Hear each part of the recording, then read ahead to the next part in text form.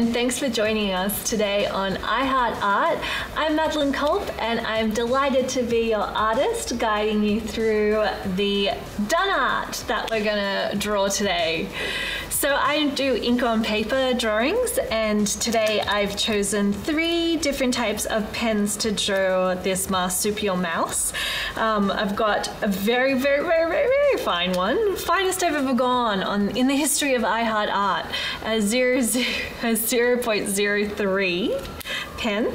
Then I'm also doing a 04 and then a really thick 1.2. Um, the reason I'm doing this combination is that we're drawing fur. So I want to make sure I can get some details and that's why I'm going so fine. And the thick will be for coloring in those really black bits and the outline as well. So if you're following along at home, you just need a clean white piece of paper, some pens. You can even use a ballpoint pen if you don't have these Artline style uh, felt pens. Um, the trick, if you're using a ballpoint pen, is to play with the pressure and the strokes. So um, if you push harder or lighter, you can really change the vibe and intention of your drawing. so, to speed things along, I've already started my Dunnart. I really was inspired by all the photos I could find of them online, and they always look like they're being um, or caught by the paparazzi. So I really wanted to play with that in um, the final design that I chose. I've never done it before. Could be a disaster, but we're in this together, right? Um, this one, uh, the Dunnart's got its mouth open in shock and horror, like it's coming out of a nightclub and it didn't want you to know about it. Um, so that's why I've started it already. I'm going to start with the mouth to begin with. Um, I've kind of just done a rough outline of where I want it. I'm going to go with the really thick pen and um, commit to it a little bit more.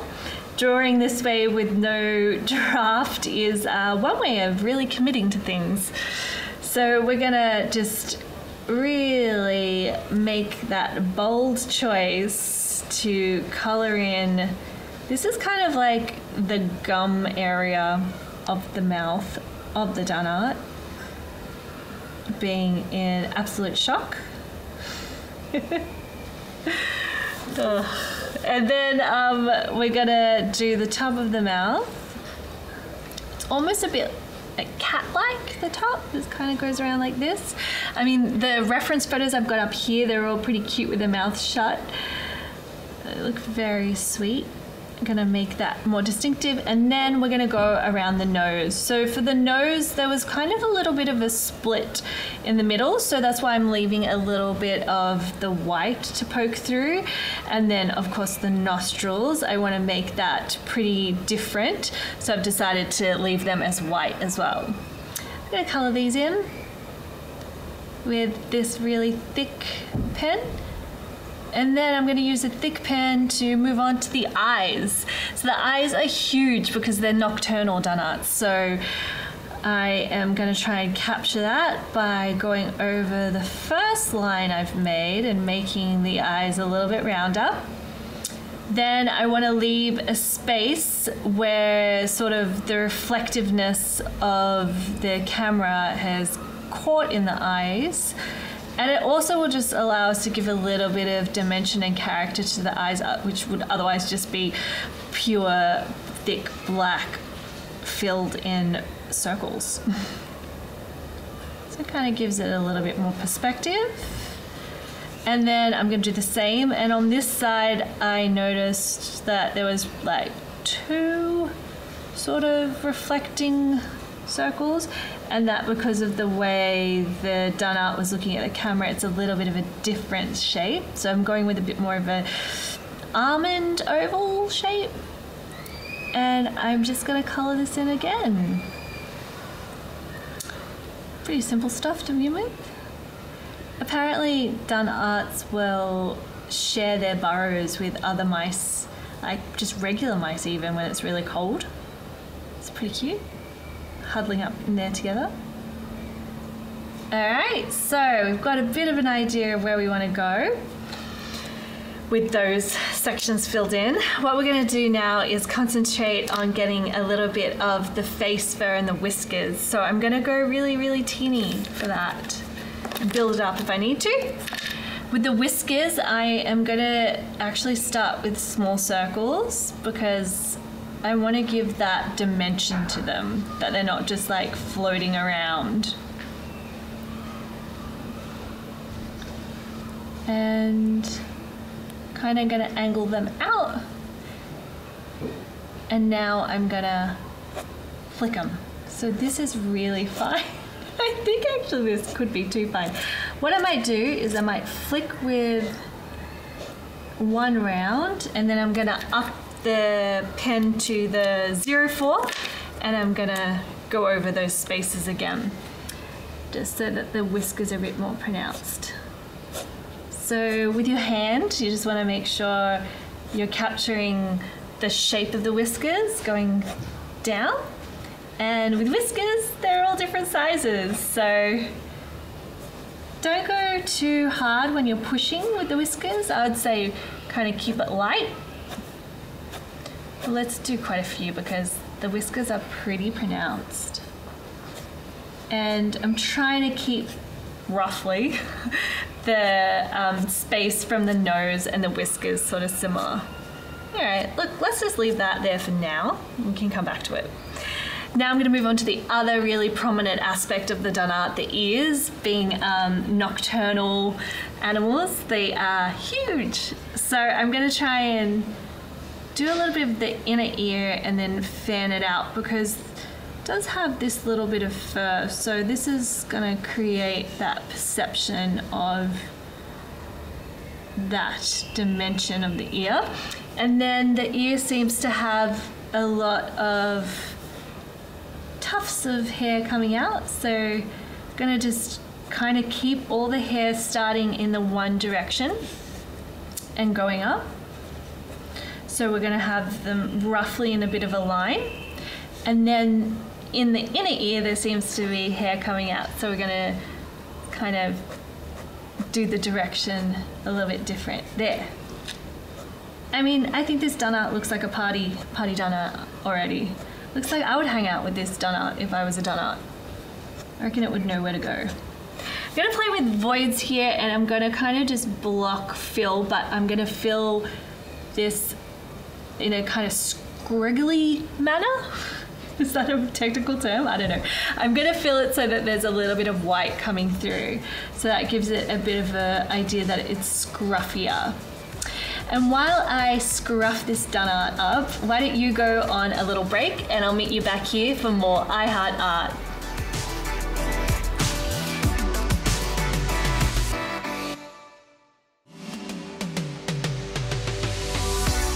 Welcome back to iHeart Art, where we're drawing a Dunnart today. Um, and we have just focused on the head. Now let's move on to the body. Um, fur is a is a sort of new territory for me, so I'm sort of experimenting. So please feel free to take this as much as you want, or ditch it and go with your own style of fur. Dunnarts have that beautiful white belly and then speckles of darker fur through this lovely caramel color. So I'm going to try and represent that with uh, playing with the shading and the texture. I've mapped out a little bit of the chest that I'm going to leave blank for now, and this may change. I don't know. For now, we'll leave it blank. And I'm going to work on um, building in that texture and that color throughout the rest of the body. I'm going to use this um, three, yeah, no, four, 04 pen.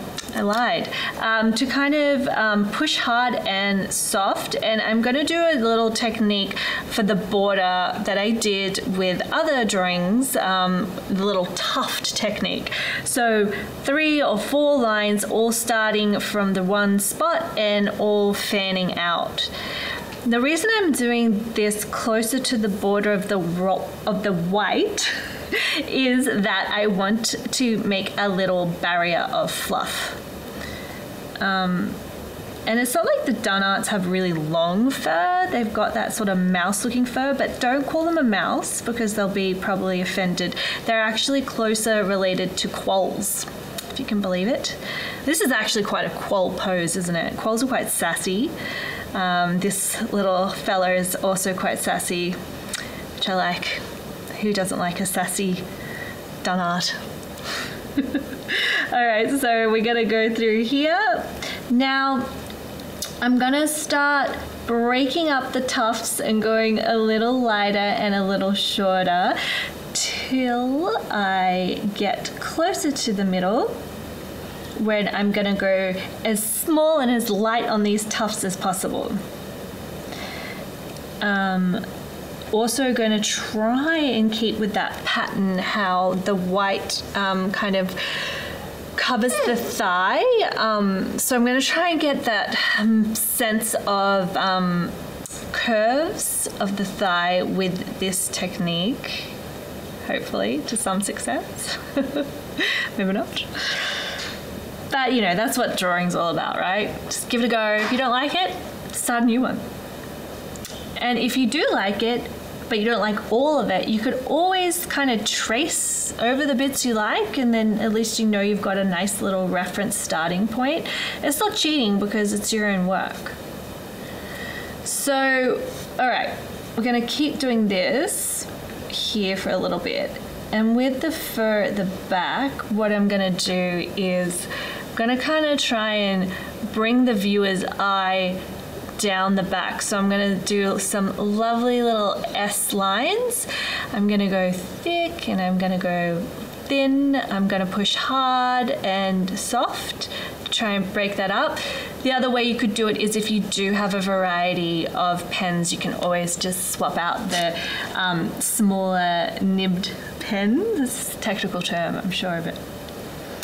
Um, and that will give you that instant um, uh, differentiation in the lines.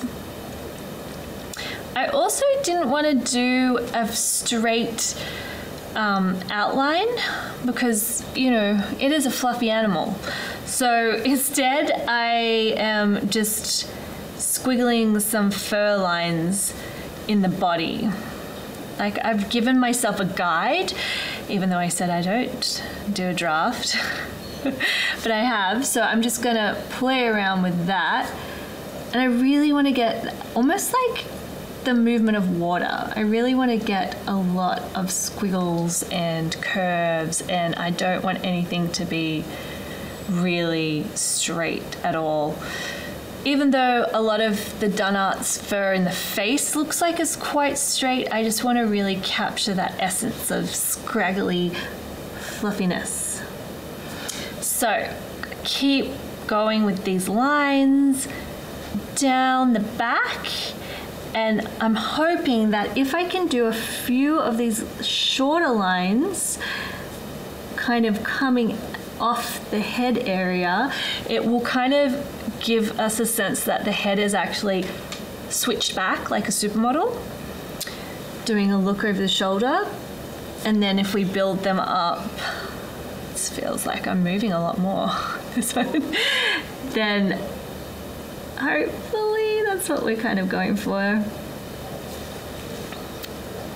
Um, I don't want to play around with much more lines in the face area because I don't want to overcrowd the features. For me, the mouth, the eyes, the ears are the stars of that area, but I thought we can kind of go a bit wild here.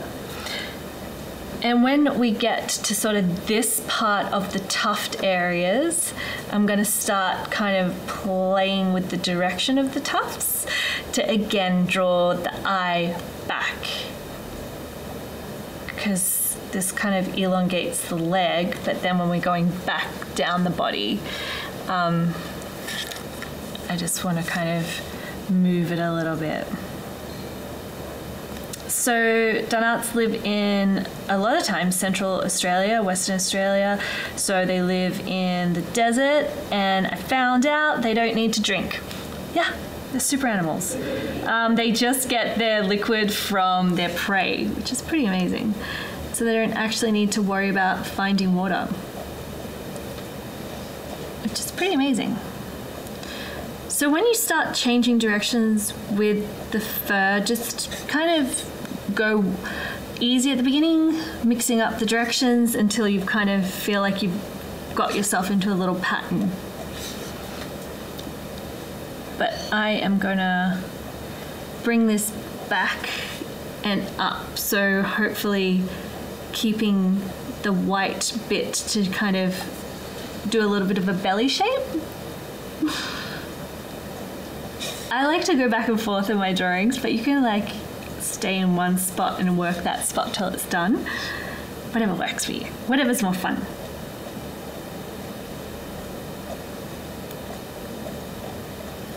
So we'll just keep working this back a bit. And because we did those um, whiskers really softly, it's kind of working fine to go over them like this. All right, well, I'm gonna keep doing this while we take a little break and come back and we'll do the tail. Thanks for watching I Heart Art.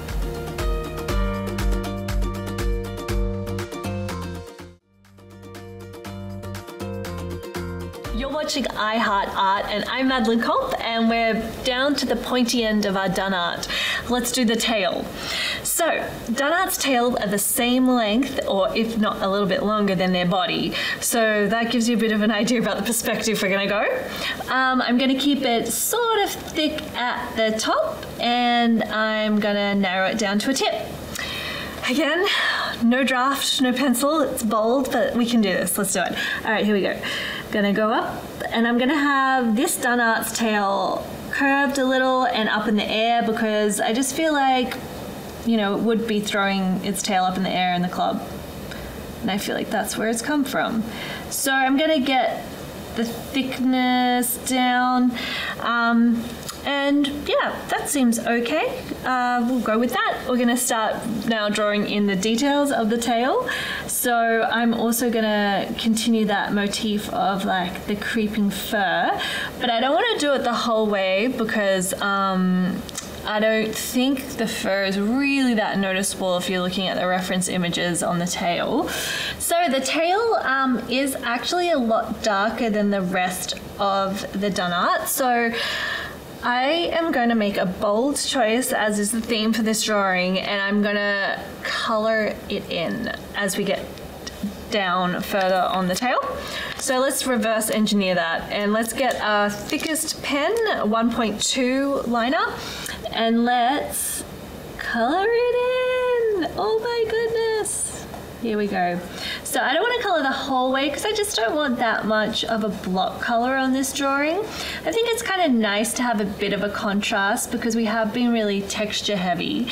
But you know, it's art, so it's not like we have to draw every single fur or fluff or anything that we need to. So let's take uh, those liberties and explore this a little bit.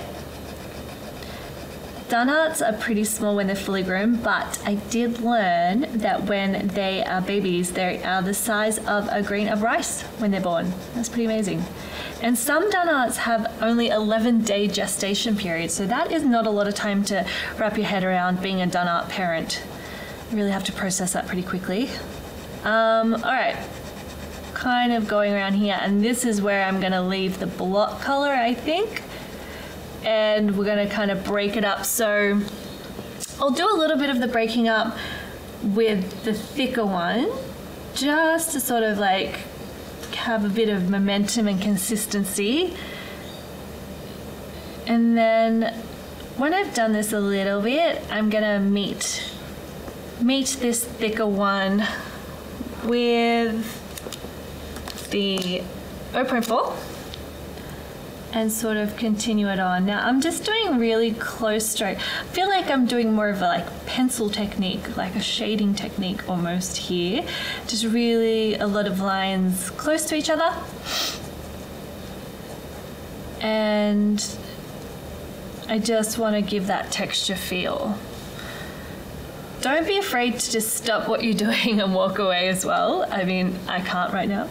But um, pulling back to look at the bigger picture is always a good idea because sometimes you can get just hypnotized by all of these little tiny details and then you kind of lose sight of what you were kind of hoping to do. Um, and probably maybe having a plan would have helped me, but here we are. So now we're meeting these longer pieces we did before, and I'm gonna kind of match them and elongate them and I'm also going to try and drive in a little bit of an idea of a curve because that's going to work with the curve of the tail. So I don't want it to be too white because I do want to reflect that the Dunnart's tail is mostly dark.